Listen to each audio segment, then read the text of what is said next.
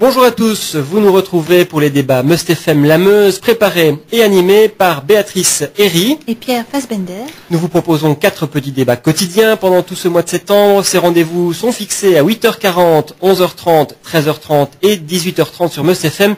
Et aujourd'hui, bien sûr, aussi dans les pages de votre quotidien La Meuse. Aujourd'hui, nous allons à Paliseul, l'arrondissement de Neuchâteau. Paliseul compte un peu plus de 5000 habitants dans une commune que l'on pourrait qualifier de, forestière. Jean-Paul Hanard est aux commandes de la commune avec une majorité obtenue grâce au renfort de la liste Ensemble. Cette fois, l'électeur pourra choisir entre trois listes. C'est probablement la plus petite des trois, le PS, qui risque de faire basculer la majorité d'un côté ou de l'autre. En tout cas, nous en saurons plus au soir du 8 octobre. En studio, nous avons la chance de recevoir Jean-Marc Lambert de la liste Autrement, Marc Jacquemin de la liste Action et Jean-Paul Hanard de la liste Pour vous. Monsieur Hanard, Paliseul, c'est une commune à vocation forestière. Ça va très bien s'illustrer l'année prochaine puisque vous allez participer à la foire agricole avec cette étendue que vous allez mettre à la disposition de la foire. Voilà, tout à fait. Donc on a pu obtenir les démonstrations forestières pour l'année prochaine. Hein. donc évidemment c'est un un plus euh, pour notre commune bien sûr, puisque vous n'êtes pas sans savoir qu'il y a énormément, disons, de il y a beaucoup de bois chez nous et disons des magnifiques bois. Donc euh, cette démonstration forestière durera deux jours. Hein, et euh, elle sera située dans le bois du Deux donc un très beau massif forestier. Évidemment, ce sera l'occasion pour nous de montrer euh, notre belle commune, puisqu'on attend pas moins de 20 000 euh, visiteurs en, en donc les, deux jours. Ensuite, ce sera aussi une manière pour la commune de, se faire connaître, peut-être au niveau aussi de, de, son accueil. Je parle sans doute au niveau de la capacité des gîtes. Oui, là, on vient à Padisseul chercher le repos, le calme. Tout à fait. La possibilité de promenade. Voilà, oui, oui, donc vous avez très bien dit cela nous accueillons effectivement donc un tourisme de, qualité, hein, et notamment le syndicat d'initiative euh, est très actif à ce niveau-là, et en principe euh, offre plus de 220 km de, de promenade, hein, tant euh, de VTT que pédestre. Je dois dire aussi que lors de cette démonstration forestière, on va essayer de faire en sorte aussi que chaque association de Paliseul puisse en tout cas montrer leur savoir-faire. quoi. Alors, euh, je me tourne vers euh, Jean-Marc Lambert. Votre liste s'appelle Autrement. Je suppose que vous avez une autre vision du développement de votre commune Palisol.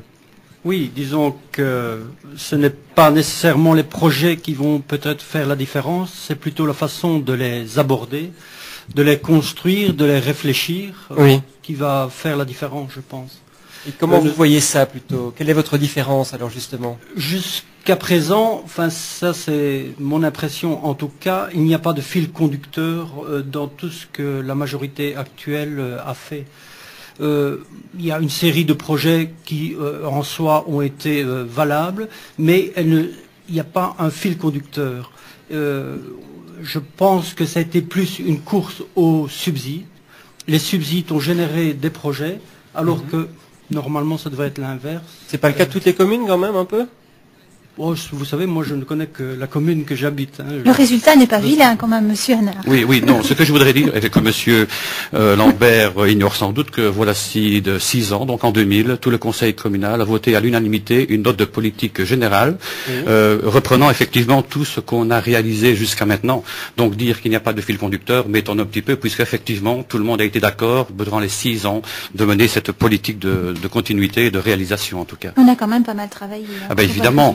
Euh, il y a bon énormément de domaines. Je prendrai le domaine de la rénovation rurale, en tout cas, où il y a eu des, salles de village qui ont été construites à raison donc de 80% euh, Il y a la place de Paliseul, il y a aussi la place de Carsbourg, ainsi que des placettes. Donc quelque part pour un secteur, hein, je prends uniquement ce secteur-là, il y a déjà eu évidemment euh, énormément de faits et on va encore vers l'avant puisque tout compte fait, on a voté une réactualisation du PCDR quoi, au niveau du Conseil communal, ce qui veut dire qu'effectivement on voit cette continuité. Je rappelle juste que le PCDR c'est le plan communal de développement rural. Voilà, exactement, je tiens à le dire. Donc quelque part, euh, je pense qu'au contraire, il y a une vue euh, à moyen et à long terme qui a été pensée par l'ensemble du Conseil communal.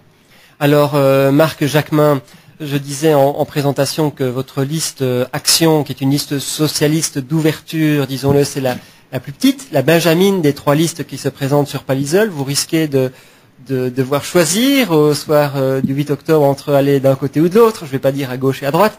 Et euh, quelle est, quelle est votre, votre vision de ce développement économique? Est-ce que vous êtes d'accord avec la politique menée actuellement?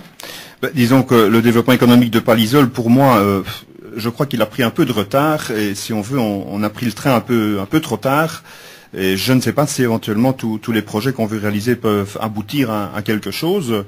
Bon, il est certain qu'il y a des choses qui sont bonnes, il y en a d'autres qui sont moins bonnes, et je, je crois que je peux... Citer des exemples mais je peux rejoindre un peu l'avis. Bon, euh, dans, les sections, notamment, je crois qu'il n'y a pas toujours des, travaux qui sont qui sont réfléchis, qui sont qui sont menés, je vais dire, en, accord avec la réalité du terrain.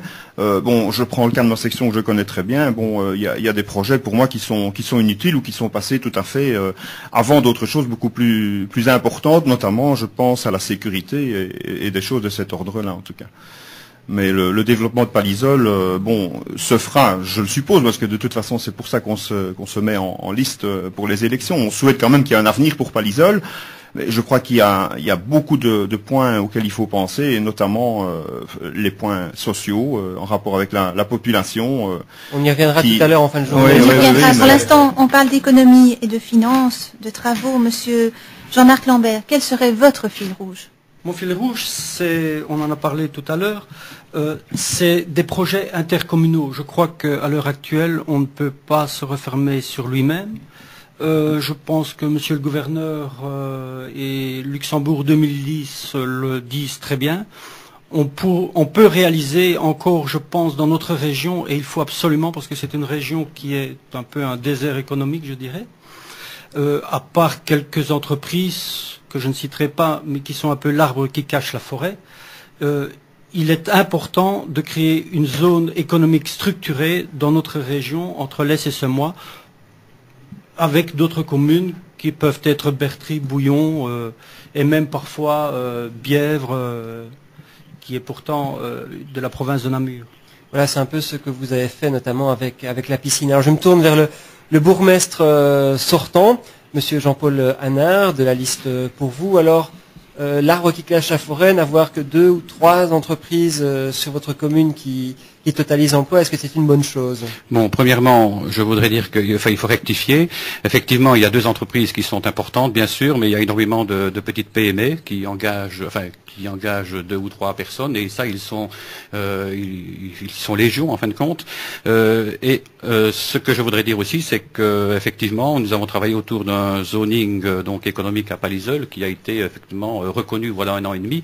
Donc il y a deux hectares où on peut accueillir les PME et peut possibilité, disons, d'une extension à, à, à, 10 hectares. Est-ce que, vous, avez déjà eu, dire... pardon, je vous interromps, vous avez déjà eu des contacts au niveau euh, de, et, de possibles... Bon, euh, en principe, nous travaillons de pair avec Idelux qui doit faire une plaquette euh, donc promotionnelle.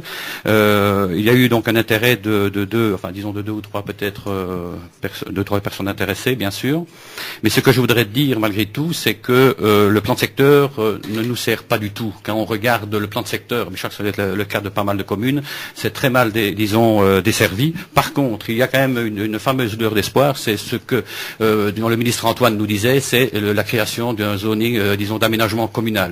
Ça veut dire que les zones mixtes que vous pouvez voir dans les différents villages pourraient effectivement être affectées à l'un ou l'autre. Euh, oui, avoir l'une ou l'autre affectation. Oui, c'est ça. Et de, de, cela, effectivement, on pourrait euh, y travailler dans, durant la prochaine législature. Mais évidemment, c'est nouveau, bien sûr. Voilà, un grand merci. On se quitte déjà ici. On se retrouve euh, tout à l'heure à 11h30 pour parler ensemble de qualité de vie. Et Dieu sait si à Palisol la qualité de vie c'est quelque chose d'important parce qu'on parlera du tourisme, du sport et des loisirs. En studio avec nous toute la journée aujourd'hui, Jean-Paul Lambert de la liste Autrement, Marc Jacquemin de la liste Action et Jean-Paul Hanard de la liste Pour vous. À tout à l'heure. Jean-Marc Lambert. Jean-Marc Lambert, voilà. Il n'y a pas de problème. à tout à l'heure donc.